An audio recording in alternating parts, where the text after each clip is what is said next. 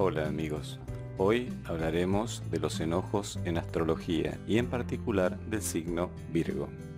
Si algo se puede destacar de un virginiano es que nadie quiere estar cerca cuando se enoja, ya que en ese momento todas sus virtudes desaparecen y deja de escuchar.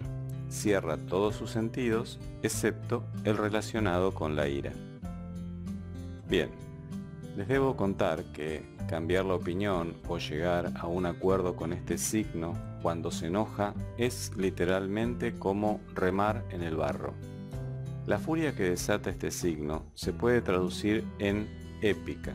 Ahora bien, desde la astrología se aconseja que lo mejor que se puede hacer o no para lidiar con ellos, por sobre todas las cosas, es no preguntar si están enojados ya que esto se convierte en un disparador, les diría casi nuclear, por el nivel de devastación que Virgo es capaz de generar.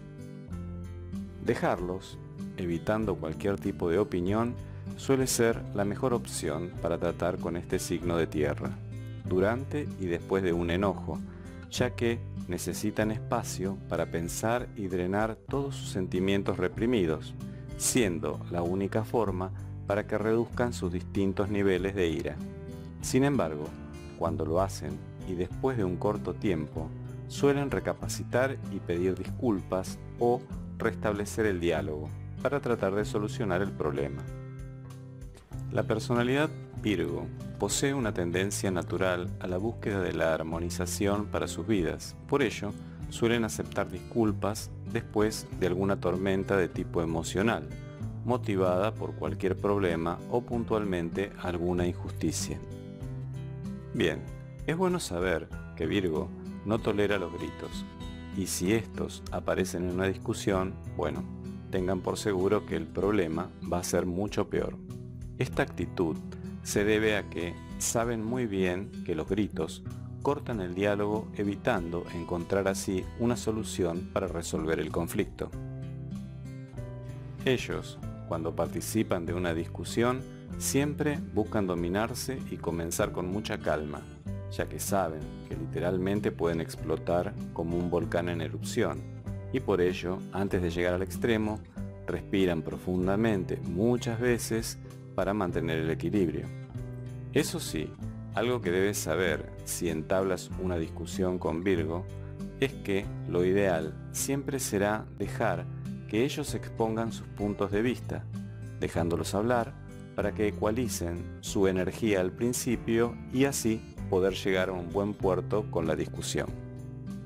También es importante saber que los virginianos suelen caer en la depresión con facilidad después de atravesar por un episodio de ira, y esto puede producirse con mucha rapidez, en particular cuando sienten que han sido insultados por ejemplo, cuando se pone en tela de juicio su reputación, siendo este último caso uno de los motivos más seguros que puedan desatar el enojo en un virginiano.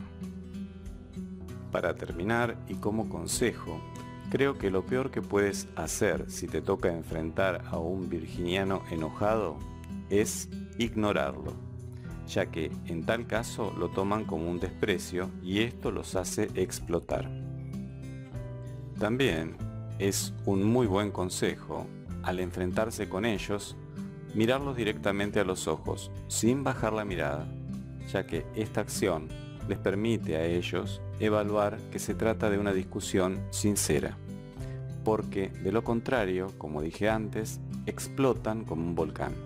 Y ten por seguro que su lava te va a derretir. Bueno amigos, espero que esta breve información astrológica haya sido de su agrado. Y como siempre les deseo lo mejor para sus vidas. Gracias por ver el video, muchas gracias.